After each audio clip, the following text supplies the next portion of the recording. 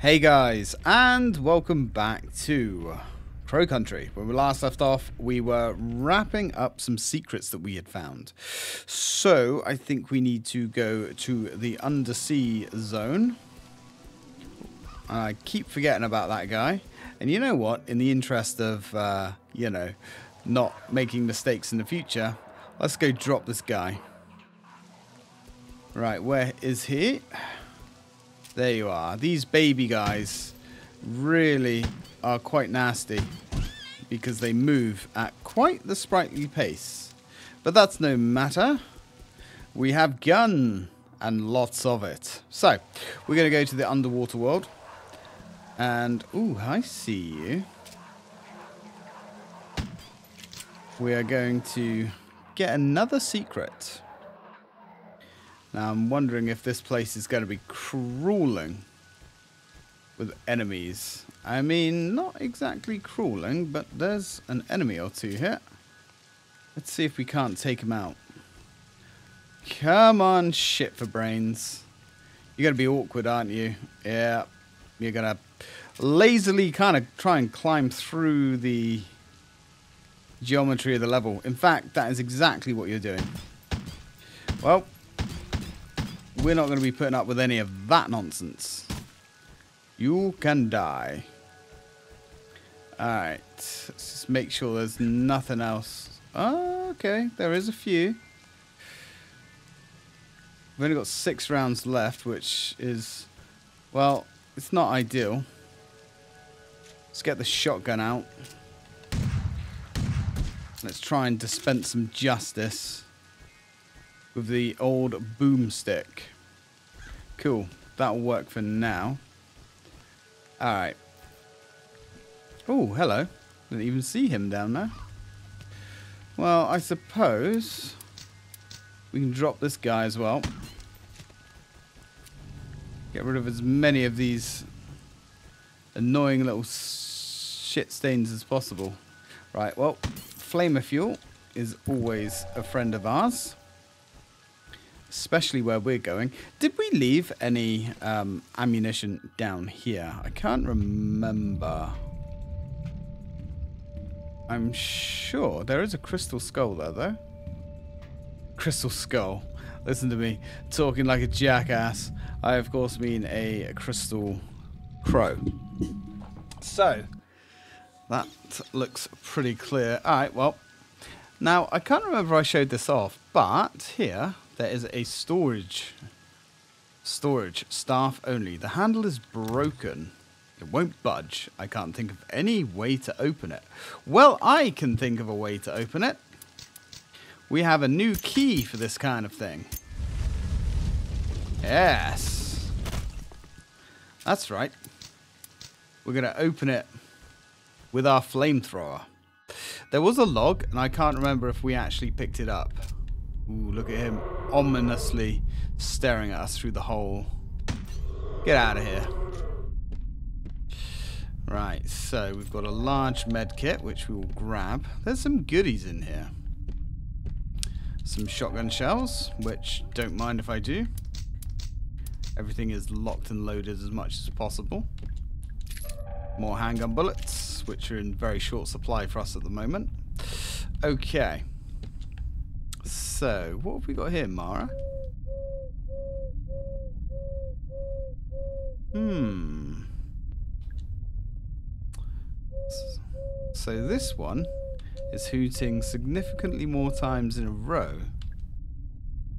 Let's count it. Two, three, four, five, six, seven, eight, nine. So eight. I think that chimes eight times. Interesting. And there's another crow there maybe, just maybe, we can make use of that. Anyway, it's a mushroom. I'm a little mushroom boy. I'll use my mushroom magic to grant you a wish. Tell me, what is it that you wish? Uh, what's that? You want me to improve your magnum revolver? To each their own, I guess. Uh, I mean, sure. Wish granted. We now have the gold-plated Magnum. Uh, so, I mean, sure. So we can't carry any more grenades. That's unfortunate. Now, what else is there in here? There is some more flamethrower fuel, which we are always in the need for. And there's a brass scale. The dial measures in ounces, but the needle won't stay still. There's an octopus sitting in the tray. And down here, there's a keypad. Well, well, well, well. If we add in the code 1825, that will open us up another secret. It's a box of magnum ammo. Now, I can't actually remember where we find the log which tells us about that, but whatever. It is there. We have it. It is ours. So I believe if we hit up the map now, that is all of the secrets in there. We've got the delivery garage that's now kind of open. And we only have three secrets left. The one in the toilet, which ironically is the pile of bones that we found right at the beginning of the game. Believe it or not, that's actually the final secret we're going to be getting. So, let's go to the hilltop. Because there are still some goodies left inside. Okay. Hopefully there aren't too many more mutants back here. Now we know Okay, we got too many bullets to get some spare ones. Now we, I think we've got to push this. One, two, three, four, five, six, seven, eight. There we go. And another secret is a packet of Magnum rounds. So we're up to 13 secrets. Happy with that. Okay, this place looks like it's a little bit more creepy crawly than it was. You can have a grenade. And you, sir, can have large quantities of firepower delivered straight into your face. Well, this place has changed since we've been here last. It's on fire, and there are mutants everywhere. Okay, curious. The flames of hell. We're definitely going to leave the flames of hell. Inconsequential. Okay, so that will give us nothing. History's deadliest poisons. Yeah, we're we're not playing with history's deadliest poisons. No siree. We're not picking that up either. So over here we have our piano. Now, there are a couple of little things that we can actually use here. If I can get my notes back up. Da da da. I think it's. I don't need my notes. I'm pretty sure. Cage is one of them. Now, interestingly, there is. There's actually two lights on top of the piano, but I've only found two codes that we can use. And uh, I've 100% of the game. So I guess I haven't missed one? Question mark. I'm a little mushroom boy. I'll use my mushroom magic to grant you a wish.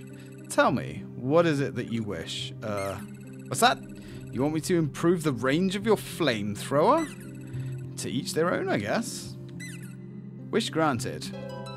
And there we go. The range of our flamethrower is now increased.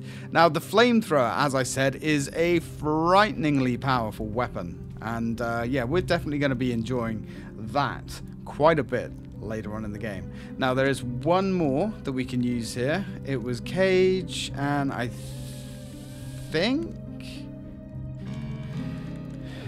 Uh, hang on. No, I can't remember. Yeah, where's my notes? Ah, right. And I did forget that. And dead. So cage and dead are the two codes that we can use in here. If there are any more, uh, I can't remember them. But I'm pretty sure it was just the two. Anyway, we find ourselves in a new little area. We're only three rounds for our pistol, which is not exactly ideal. Hello, sir. Or you look like a ma'am. Hard to tell these days. We don't question it. Get out of here. Questioning it these days gets you cancelled. Evening. There we go. Right, we stand on them to grind them into the ground afterwards. Yeah, we really need some hanger bullets. To be fair, there is a massive abundance of shotgun shells and things anyway. So we're not going to worry too much. Ooh. I guess ask and you shall receive. How the gods smile on us this day. It's a page from a magazine. Watch out for small explosives lying on the ground. They're rigged to blow when touched. Keep a keen eye. Some of them look fairly similar to other items you might want to pick up. Yes. Yeah, yeah. We're not going to be falling for that nonsense. That didn't sound good. Somebody just got shot. Or maybe somebody was defending themselves. I guess we may never know. Anything in the locker? It's empty. Now, the stuff that's in these lockers, like other containers, is RNG as well. Right, well, let's open this up. And this, yes, you remember where this is? This is behind the dungeon, which is kind of cool. In fact, uh, in fact, we could actually go back into the dungeon and pick up some shotgun shells, couldn't we? Because there were some in there. Might as well keep topped up along the way. And after all, it's fairly quick and easy to get back through here. So it was in there, and that was the Cyclops. So let's go get this computer firing on all cylinders. And we want two, two, two, one, and one. Cool. Now, I'm very tempted, actually, to use a med kit just to get ourselves into a better frame of mind. Now I've already completed this game on an S rank, I'm not super bothered about doing it again. However, I would like to. Now, I don't know how much better these medkits are. If you notice that the large medkit is not improved, but it's kind of redundant because that one does completely heal us anyway. So let's go back up to fine. Because I don't like running around in these games uh, wounded you know. Although I'm pretty sure just being injured in this game uh, is little more than a. I think it's a little more than an animation. It's not like, for instance, in Resident Evil 2, where you were really injured, uh, you were slow as molasses. Although maybe you are a little bit quicker. Not sure. Anyway. Uh, State Court, 185 Central Avenue, Atlanta. Okay, legal summon, legal summonings. Final warning, Mr. Crow. We sent you a letter 14 days ago, and you have and have not yet heard back. This is a serious matter that demands your immediate attention. You should know that Elaine Marshall's family have appointed a lawyer. The case against you is being prepared as I write this letter. Sincerely, G. Williams, State Court. Yeah, that seems pretty bad. Deep Pike Park Operations. Oh, let's go have a little look inside, shall we? Oh. I guess we know where the gunshot came from. Oh shit, he's dead. I guess he shot himself. Should I call the police? Mara, I thought you were the police. There's a handgun lying next to him. I better not touch it. Yeah, best not. Oh, another crystal skull. Crystal Crow. I'm going to keep calling them uh, Crystal Skulls. Fuck it. it's, what it is. Uh, Edward had his office door electrified, decently high voltage too. I turned off the mains power, but the door was still electrified. So, I think he must have hooked it up to a generator somewhere in the underground level. Hmm, curious. It's a model of the Crow Country Park. It looks like there are four main areas and few smaller sections around the outside. Mm-hmm. Some more handgun rounds. Always going to come in handy. Ah, Mr. Pike, what happened to you? A bottle containing an antidote. I can't carry any more right now. The following doors are now locked electronically. Dungeon, Mermaid, Cyclops, Wolf Serpent, Crypt, of how do you say that? Ophelia. They can only be opened via the dungeon's computer terminal. Yep. Edward has pulled all the funding from Cosmic uh, for Cosmic Future, and we halted construction. He said it was just a temporary delay, but I can tell when he's lying. Something is seriously wrong with Edward. He looks sick, but at the same time, there's kind of a maniac energy in his eyes. I asked Holman about it, but he gave me the silent treatment, so whatever it is, I think they're in on it together. I tried to spy on Edward and Tolman during their meeting. It sounded like they were trying to talk to somebody, a third person in the room who wasn't talking back. But they were talking like how you talk to a baby or a young child, speaking slowly, using simple language. What's going on? Hmm. There's a videotape in the slot. Let's play it.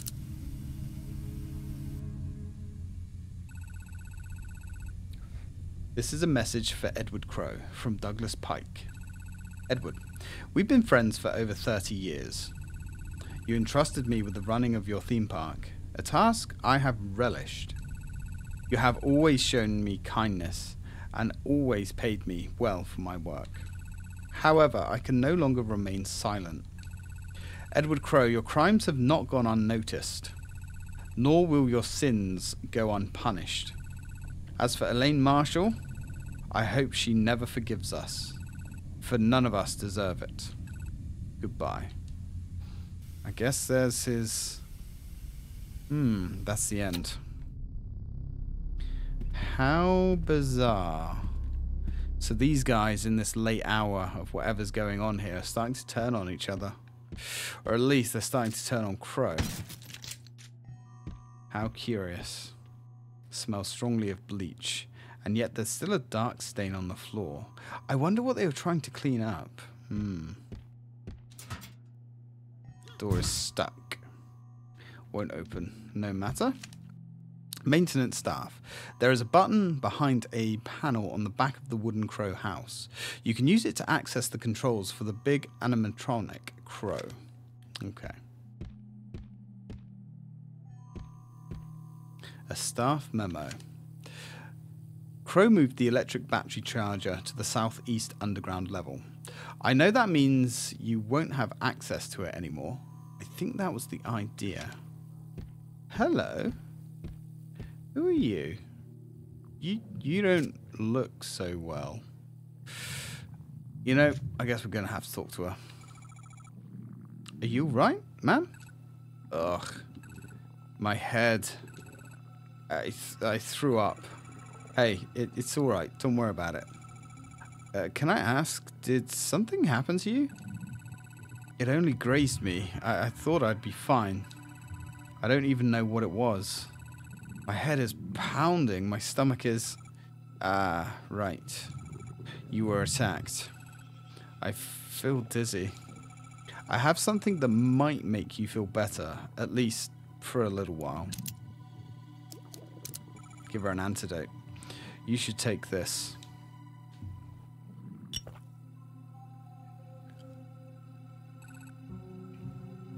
Thanks. I, I think that actually helped. Oh, I'm so rude. What's your name? I'm Mara. Thanks, Mara. I'm Natalie, Natalie Crow. What are you doing here, Mara? I'm actually looking for your father, for Edward Crow. What on earth do you want with father? You filed a missing persons report, didn't you? Yeah, I, I did. You're who they sent? Yep, I'm Agent Mara Forrest. But you're so What? What about the man I spoke to on the phone? Detective Harrison something. Detective Harrison James. He, uh, he couldn't make it. Problem with his car. So they sent you instead. Yep. Uh-huh. Sounds questionable at best, but alright. This is your father's office. He's not in there. I've been out here for hours and I haven't heard a sound. Be that as it may, I'd still like to take a look inside. Do you know how to get in?